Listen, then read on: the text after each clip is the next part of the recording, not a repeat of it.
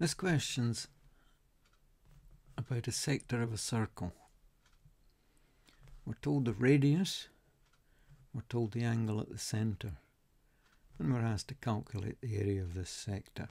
Now remember we're in paper 1 where we're not allowed to use calculators, so we must use the value they've given us for pi, which is 3.14. Now the basic formula that we'll be using is the area of a circle. And we know that's pi r squared. So the question now is, what fraction of this circle are we dealing with?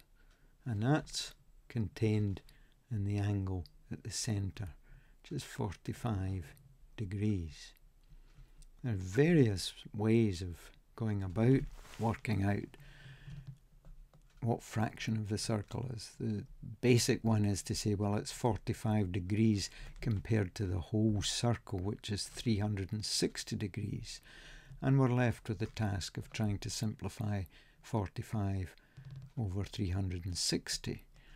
I suppose five nines are 45 and 9 also goes into 360 because 4 nines are 36 so that would be 40 times 9 and we can divide top and bottom by 9 so we get 5 fortieths. But there again 5 is a factor that's common to top and bottom. 5 into 5 goes once 5 into 40 goes 8 so we end up with 1 eighth. There are other ways of getting there. If you think two 45s make up 90 degrees and then there's four lots of 90 degrees in a complete circle. So you can see there'll be eight sectors exactly the same size as the one we're dealing with up here ABC so there's another way of thinking about one eighth anyway we're asked to calculate the area of the sector so let's get going with that area of the sector equals 1 eighth for any of these reasons down here of pi r squared.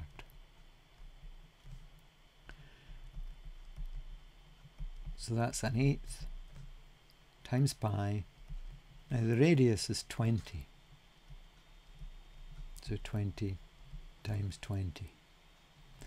remember to multiply these. Remember, it's not uh, it's not a paper where we can use the calculator, so we have to do this somehow without the calculator.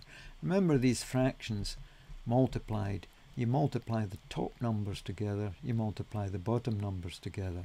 So 1 times pi times 20 times 20 on the top of the fraction, on the bottom of the fraction 8 times 1 times 1 times 1. That's just 8. And there is a bit of cancelling.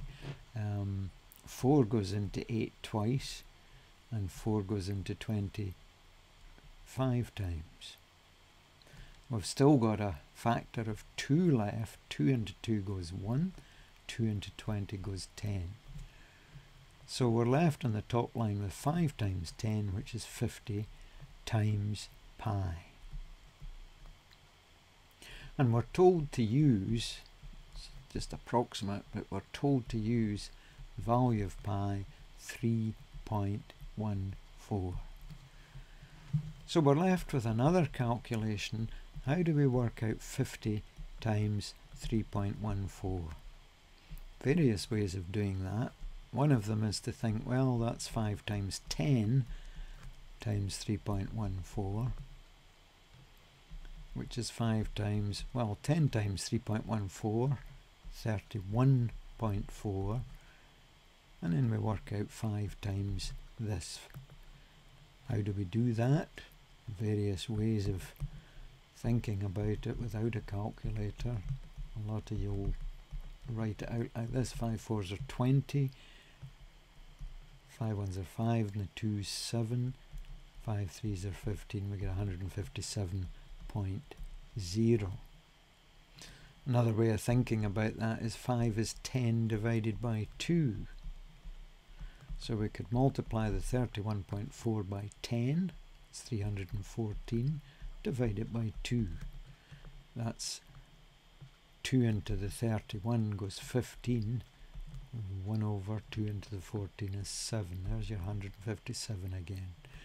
The other way is to think of 50 as 100 divided by 2, but like this last method we used, and multiply the 3.14 by 100 to get 314 divided by 2, which we've done over here, is 157. So all sorts of ways of getting to the answer, which is 157.